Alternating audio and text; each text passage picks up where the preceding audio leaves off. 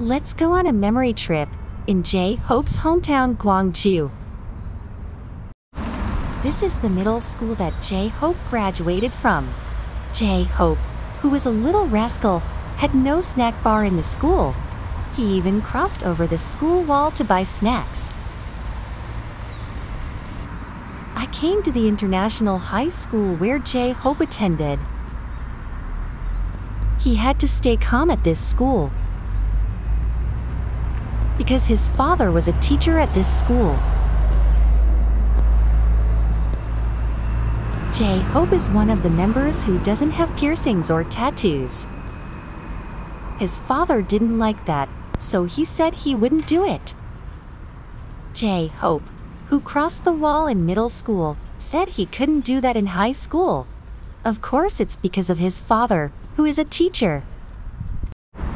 When I came to see it, it seems that he couldn't cross it was not because of his father, but because it was not a height that he could overcome. He said his father was against dancing. After watching him dance on a school trip, he gave his full support. J Hope said he went to a dance academy and practiced really hard in order to be recognized by his father. This is the Joy Dance Academy. The first floor is open as a K-pop star fan zone.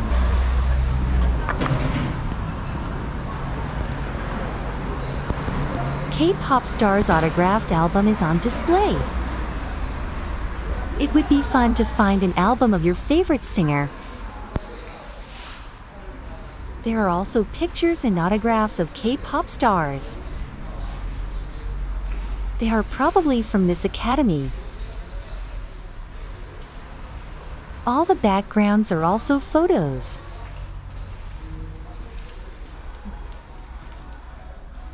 There are Adiz's autographs and many people's messages.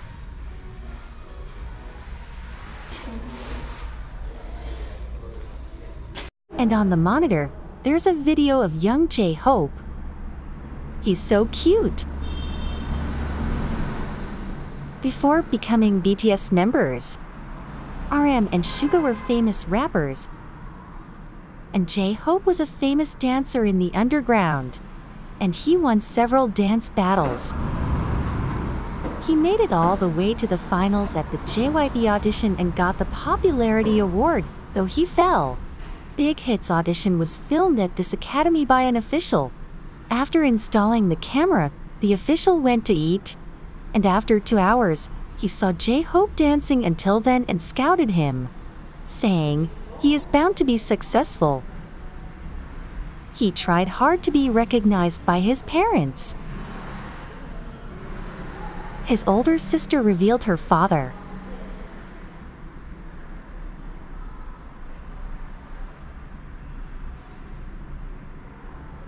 All of his family members look like J Hope.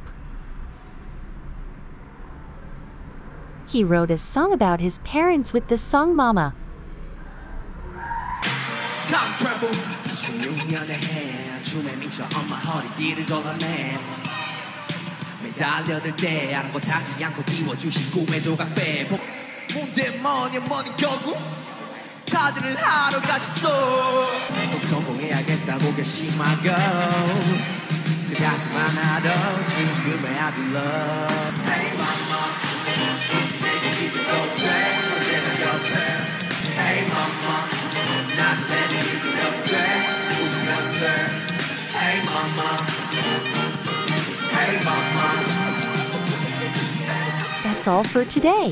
Thank you.